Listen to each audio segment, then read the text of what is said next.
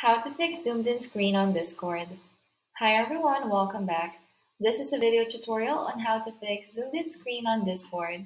If you're using an iPhone and your Discord looks like this, you probably accidentally turned on the zoom feature on your iPhone. And don't worry, this is very easy to fix. All you have to do is use three fingers to double tap your screen.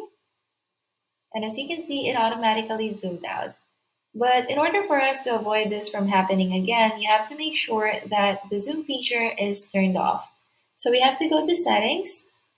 And from settings, we have to look for accessibility. Tap on accessibility and under accessibility, tap zoom.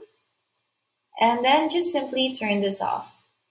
If this didn't solve your problem, a few things you can try is to make sure that your Discord is updated. So go to your App Store and from the App Store, just simply look up Discord. And from here, you can see if you need to update it. As you can see, mine needs an update. So I can just tap on that and then wait for the update to complete. And if this still didn't solve the problem, just maybe try to restart your iPhone. Sometimes a simple restart solves a lot of problems, so it doesn't hurt to try.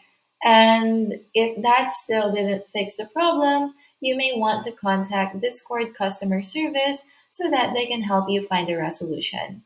And those are your options to fix zoomed in screen on Discord. If you found this video helpful, please let us know in the comments below. Like this video and subscribe to our channel for more videos like this. Thank you for watching and I'll see you next time.